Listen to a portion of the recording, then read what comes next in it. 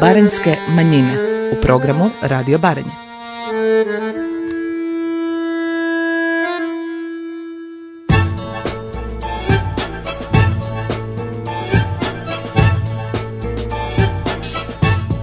Dobro vam večer u programu Radio Baranje na vašoj prvoj frekvenciji 88 MHz. Vrijeme je za još jednu dvojezičnu emisiju Barenjske manjine – u emisiji govorimo o prvih 15 minuta na hrvatskom, drugih 15 minuta na mađarskom jeziku. U prvom dijelu današnje emisije govorimo o programu Crna Gora, moja postojbina, programu koji je održan prošloga tjedna u Belom Manastiru. S emisijom nastavljamo odmah nakon glazbenog broja. Ljeto ja u travi ležim po trbuški u rizle duvan motam zapali Na nebu zvijezde velike ko kruške. Trudim se da na te ne mislim.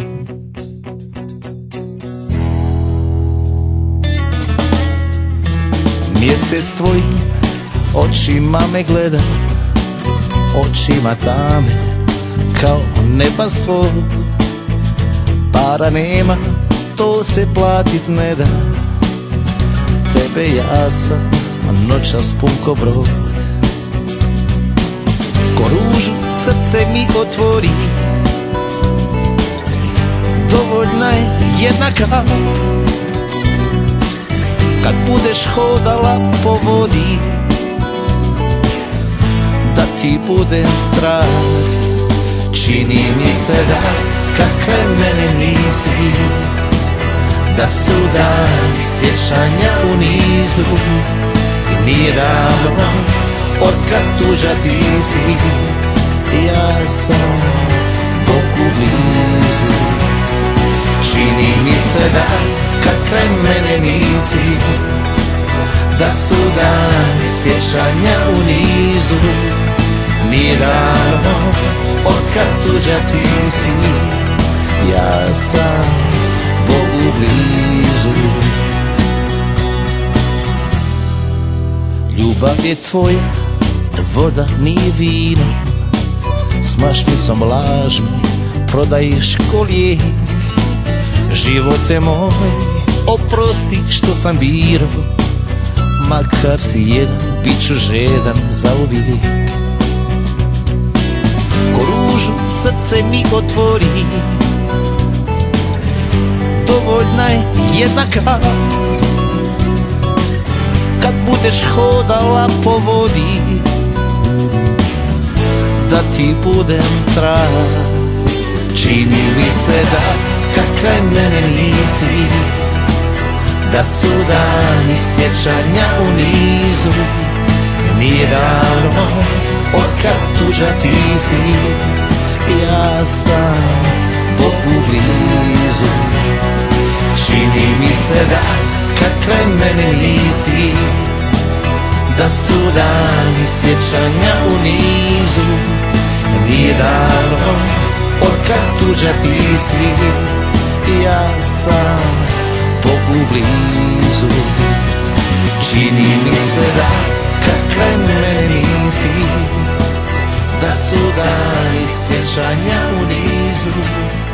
Nije davno od tuđa ti si Ja sam Bogu blizu Barenjske manjine u programu Radio Baranje.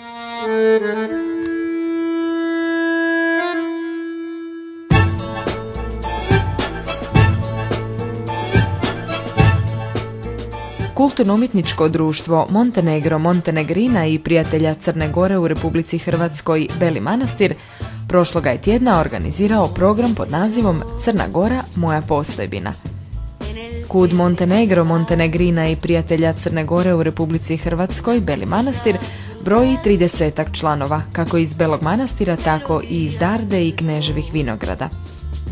U sklopu programa Crna Gora moja postojbina prikazana su dva filma s motivima iz Crne Gore i održano je predavanje o Steviću Turilu, pedagogu, piscu i prosvjetitelju rodom iz Like, koji je nekoliko godina obavljao važne dužnosti u Crnoj Gori za vrijeme knjaza Nikole. Prije početka programa razgovarali smo s predsjednicom Kuda Anđelkom Pavić koja nam je detaljno objasnila sadržaj programa Crna Gora moja postojbina. Jedna manifestacija koja nosi ime Crna Gora moja postojbina u okviru koje ćemo mi predstaviti e, dva filma, kratka filma, amaterska, ali od jednog e, pasioniranog fotografa koji e, prikazuju ljepote Crne Gore. E, naš gost na ovoj svečanosti je glazbena škola.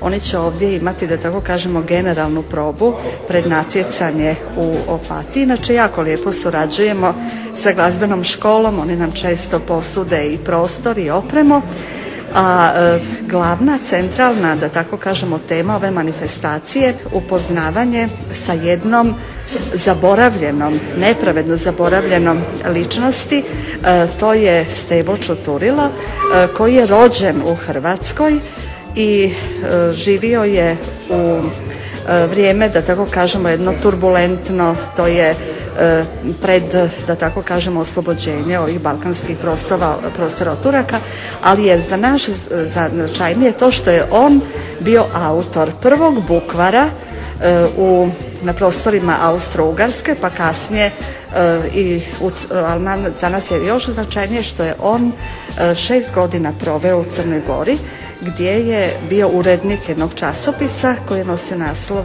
Glas Crnogorca.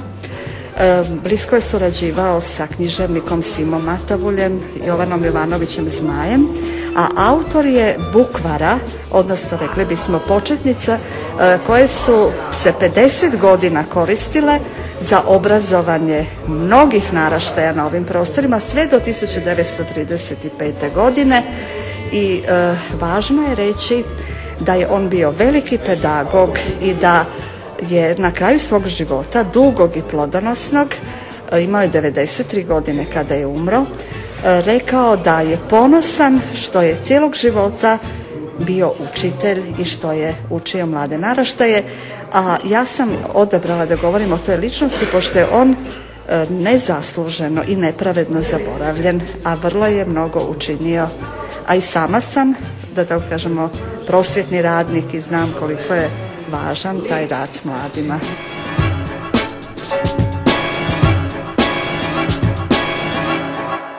Anđelka Pavić, profesorica je hrvatskog i srpskog jezika u drugoj srednjoj školi u Belom Manastiru, te smo je za kraj zamolili za nekoliko riječi o sebi. Već od 2007.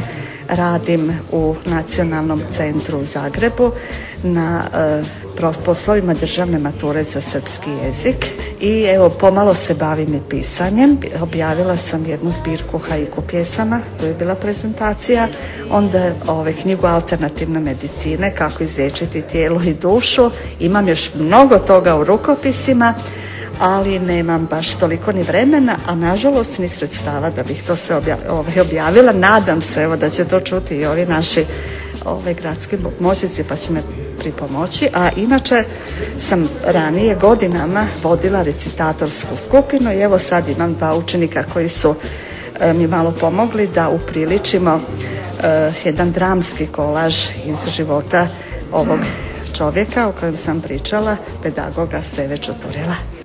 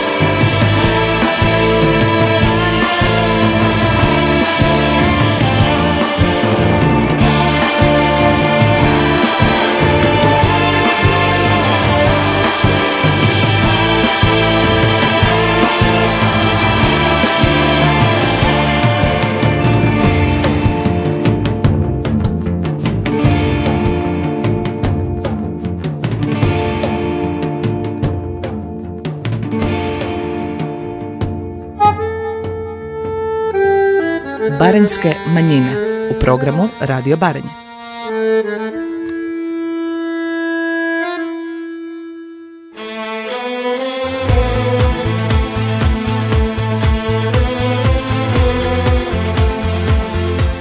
Kedves hallgatóink, köszöntöm Önöket itt a 88-as MHz-en a Baranyai Kisebbségek műsorában.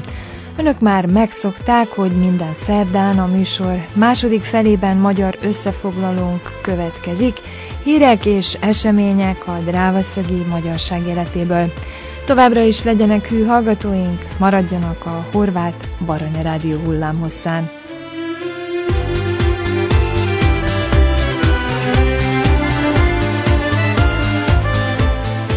Hercegszőlősön a horvátországi református keresztény Kálvin egyház emléktáblát helyezett el a Bejé pincészet melletti kis parkban a református templom közelében, Faragó Ferenc lelkipásztor és esperes emlékére, aki igazságtalanul áldozata lett a második világháborúnak, Kicsiny falujában gyilkolták meg. Erről többet mond el nekünk Szent Péter, református lelkész.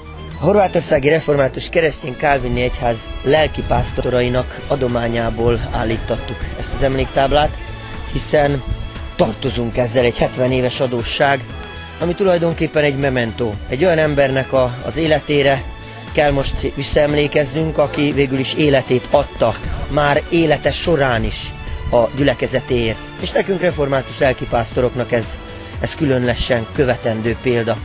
Követendő azért, mert kitartott a nyája mellett vég. Itt ma nem hangzott el egy olyan fontos gondolat, hogy a második világháború végén, illetve már utána azokat a református lelkészeket, akik nem a környékről valóak voltak, ráadásul akik Magyarországról voltak, azokat igyekeztek visszaköltöztetni, illetve elmozdítani onnan, ahonnan vannak, ahol szolgáltak. És ennek az elmúlt horvát honvédő háborúnak az ismeretében nagyon fontos megemlékezni arról, hogy nekünk hirdetni kell református lelki az igét alkalmas és alkalmatlan időben is. Életünkkel példát kell mutatnunk, ami nagyon nehéz. és ezért fontos, hogy olyan emberekről, elődeinkről emlékezzünk, akik, akik erre képesek voltak. Különösen nagy öröm, hogy a magyar írtásoknak a legnagyobb ismerője és a legnagyobb kutatója ma itt eljött közénk és megtisztelt bennünket, és elmondta azokat a dolgokat, amelyeket leírt számos könyvében, és számomra az volt a megdöbbentő, hogy ugye rossz volt olvasni is ezeket a könyveket, de így amikor élőben hallottam, és láttam a, a Matuska úr arcán ezeket az érzéseket, amelyeket tükrözött, akkor látszik, hogy ő szívvel, lélekkel azonosul azzal, amit csinál. És ez is egy követendő példa. Faragó Ferenc lelkipásztor esperes elődünk, a horvátországi református magyarság vértanújának nem tudtunk síremléket állítani a saját gyermeke és a hozzátartozói se. Ezért készítettünk egy ilyen emléktáblát, amin rajta van a református örök nyugalom, és a tápláltatás és a megváltásnak, a megtartásnak a szimbóluma, a mi szomorú fűzünk, és ott van az a boldog föltámadás reménysége alatt című rövidítés, hiszen ez az ő síremléke. Mert aki titeket bánt, az ő szemefényét bántja. Az Akariás Profita könyvének második fejezetéből a nyolcadik verse emlékezünk meg őróla, mert az ilyen emberek, akik itt a horvátországi magyar reformátusság fénye, fényessége voltak, azokat így bántották. Most pedig egy olyan korszakot élünk, amikor hálát adhatunk azért, hogy voltak ilyen őseink, hálát adhatunk azért, hogy nekünk nem kell ilyen helyzetbe, ilyen vértanúságos helyzetbe, ilyen szomorú és terror állapotba lennünk, és bizakodva kérhetjük a Jóistent a szebb jövőért, és kérhetjük azért, hogy amikor a Faragó Ferencre és a hozzá hasonlókra emlékezünk, hogy soha többet ne engedje meg azt, hogy magyarokat kollektív bűnösöknek kiáltsanak ki, mert mi is ugyanolyan emberek vagyunk, mint azok, akikkel most is éppen itt együtt élünk.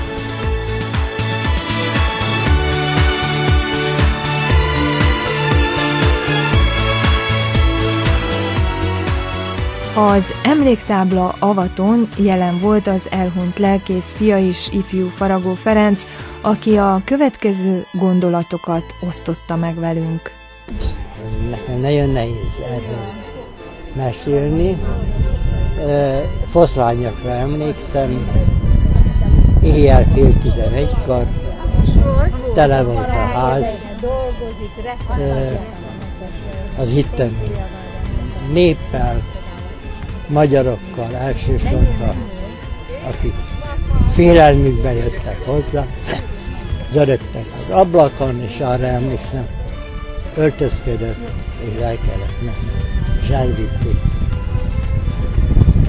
És itt, ahol most állunk, itt a közelbe, 60-70 méterre, itt van az a ház, ahol mindez történt, ott a kertbe, és remélem, hogy valami, talán megtörténik az is, hogy rendes temetés lesz. Mert végeredményben ez szörnyű a 20.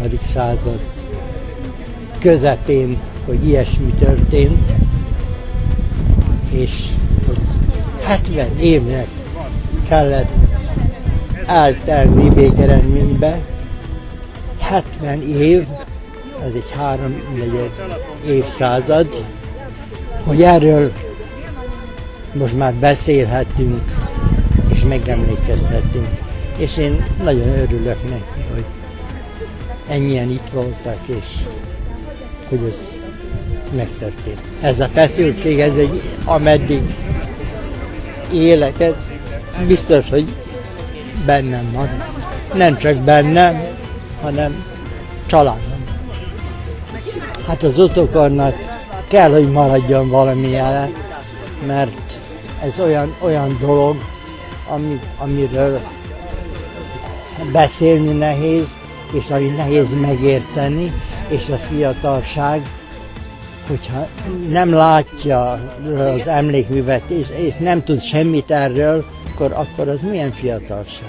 Meséltem otthon a saját gyerekeimnek is, és még ők is nehezen értik meg, hogy hogy történhetett ez. Hogy lehet ilyesmi hogy, hogy megtörtént. És megtörtént. És még az unokáimnak is mesélni fogok. És mesélek most is.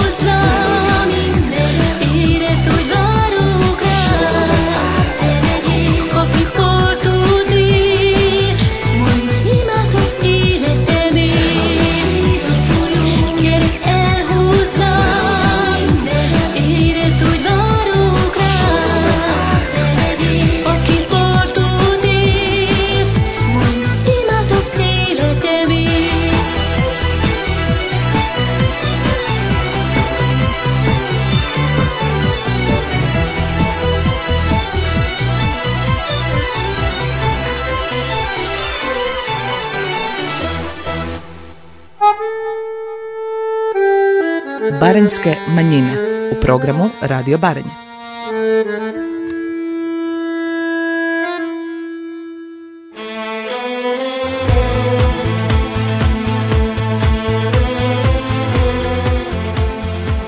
Folytatjuk híreinket. A Vörösmarty Önkéntes Tűzoltó Testület november 29-én ünnepelte megalakulásának 125 éves évfordulóját. Az ünnepség az Önkéntes Tűzoltó Társaság új szertárának átadásával kezdődött, majd díszüléssel folytatódott. Az ünnepség a tűzoltók felvonulásával vette kezdetét a kultúrotthontól a Vörösmarty szertárig, amelyet felújítottak és amelyet ünnepélyesen átadtak rendeltetésének. Az évforduló alkalmából a Hercegszőlősi járás zászlóval ajándékozta meg a Vörösmarty tűzoltó testületet, a zászlót a járás előjárója Súlya Dénes adta át, aki többek között elmondta, Örülök, hogy a 2014-es esztendőben sikerült felújítani a Vörösmarty tűzoltó otthont, ezzel is biztosítani a megfelelő feltételeket a tűzoltó testület működéséhez. Külön örülök annak, hogy az év folyamán nem ez volt az egyetlen beruházás, hisz sikerült felújítanunk a régi községháza épületét és a labdarúgó egyesület helyiségét is. Az elkövetkező évben a tűzoltók felszerelését is szeretnénk korszerűsíteni. A tűzoltók a testület megalakulásának 125 éves évfordulóját ünneplik. Látom, hogy sok fiatal van a testületben, ez azt jelenti, hogy van utánpótlás. Gratulálok a Vörösmarty tűzoltóknak, és további sikeres munkát kívánok nekik, mondta el Sója Dénes előjáró.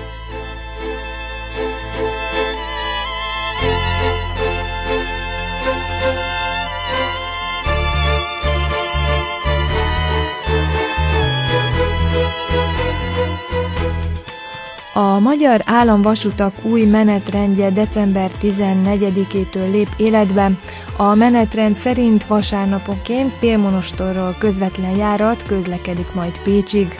A Hrvatske Zseljeznice weboldalán található menetrend szerint Eszék és Pélmonostor között jelenleg vasárnapoként egy járat közlekedik.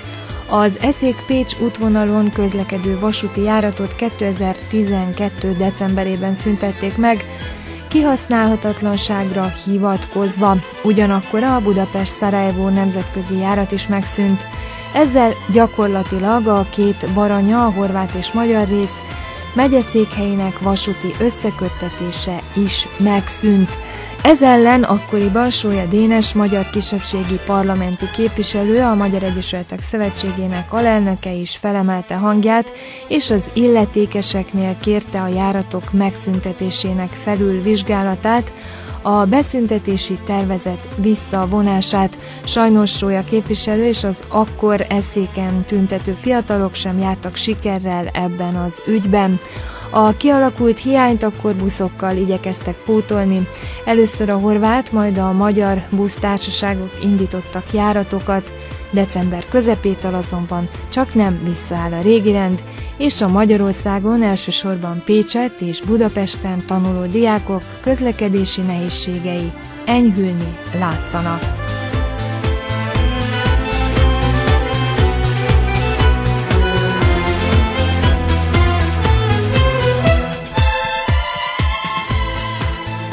Az Újbezdáni Ifjúsági Hagyományőrző Egyesület sok szeretettel meghívja a Luca Napi Vigadalom elnevezésű rendezvényére, amelyre december 13-án szombaton kerül sor 16 órai kezdettel az Újbezdáni Kultúr Otthonban.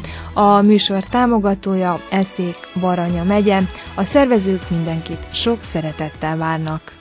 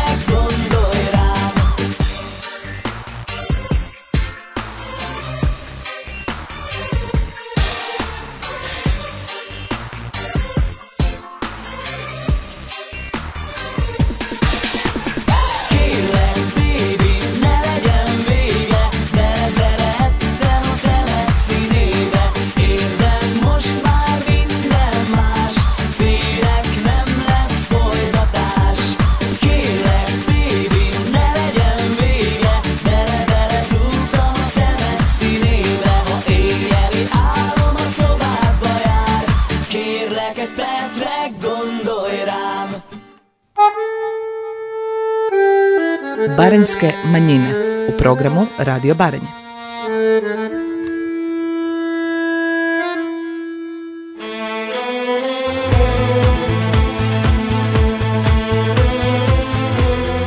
Műsorunk végén búcsúzik Önöktől Jelena és Korina, ezentúl is hallgassanak minket ugyan ebben az időben minden szerdán. További kellemes perceket kívánunk, és maradjanak a 88-as MHz-en.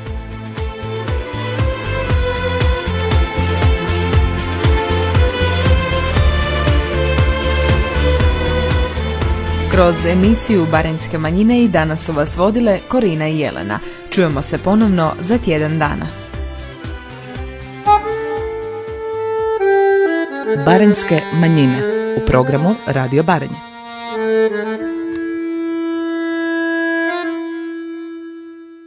Emisija Barenjske manjine sufinancirana je sredstvima Fonda za poticanje pluralizma i raznovrsnosti elektroničkih medija.